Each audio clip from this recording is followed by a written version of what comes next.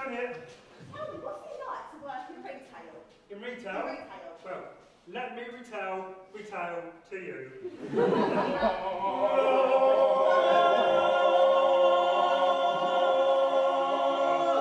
it's shit.